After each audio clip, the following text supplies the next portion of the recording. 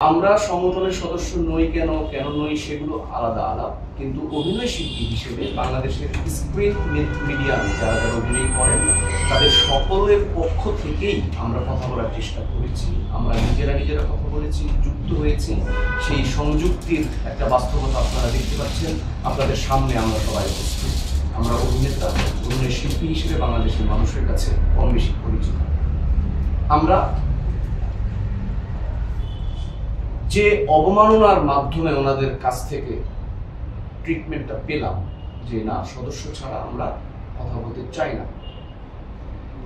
আমরা আজকে সার্বিক আলোচনায় এই অবমাননা বোধটা মনের ভেতরে পুষে রেখেছি, কারণ আমরা অ্যাক্টর সিকিউরিটিতে এমন সব মানুষকে দেখতে পাই যারা আমাদের খুবই শ্রদ্ধেয় যারা আমাদের খুবই সম্মানে, যারা আমাদের অগ্রজ হিসেবে আমাদের পথ দেখিয়ে নিয়ে যাচ্ছেন এমনটাই আমরা বিশ্বাস করেছি, এখনও পর্যন্ত তাদের প্রতি সম্মান রেখেই আমরা কথা বলছি, যে আপনারা আমাদেরকে সংগঠনের সদস্য এবং সদস্য নয়, এই ক্যাটাগরিতে বিভাজন করে ঠিক করেননি। আমরা অভিনয় শিল্পী একটা ক্যাটাগরিতে সবাই এক হতে চাই।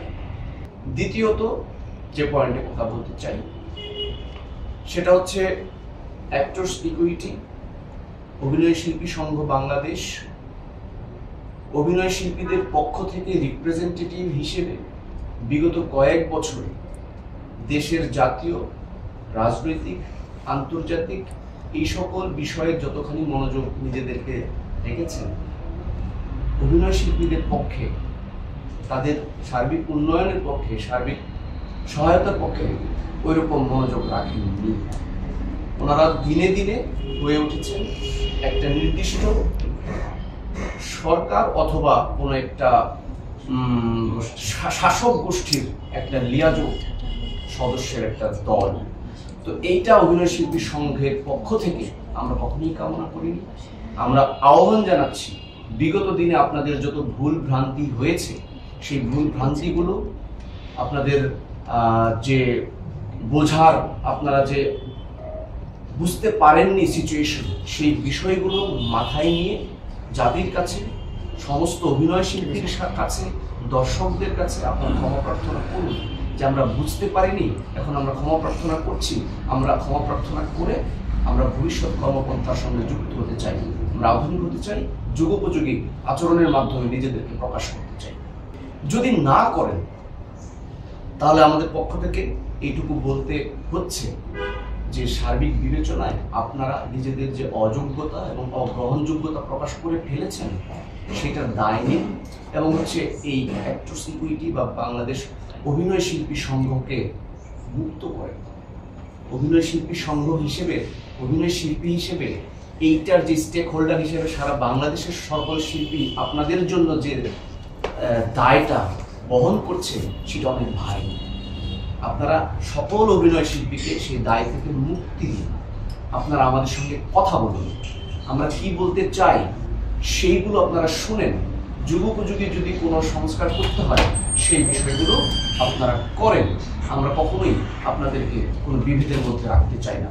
যদি না শোনেন, আমি আবার বলছি, দশ তারিখের মধ্যে আপনারা আপনাদের পদ পদবি থেকে ক্ষমা চেয়ে পদত্যাগ করুন এবং এই কমিটির একটা এক্সিস্টিং অবস্থা থেকে বিলুপ্ত ঘোষণা করেন।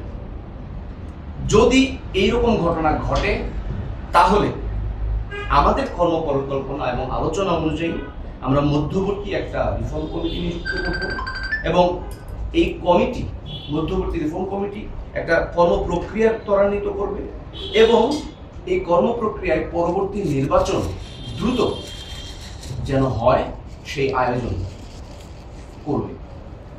আমরা এই আলোচনার প্রেক্ষিতে, এই দাবি দেওয়ার প্রেক্ষিতে বাংলাদেশের যত মাধ্যমের অভিনয় শিল্পী আছেন, সবাইকে জানাতে চাই, আপনারা আমাদের সঙ্গে যুক্ত হন, আমরা কি বলি সেগুলো আপনারা শোনেন এবং কি কি পয়েন্টে রিফর্মের কথা আমরা বলছি সেগুলোর সঙ্গে আপনারা যুক্ত হন।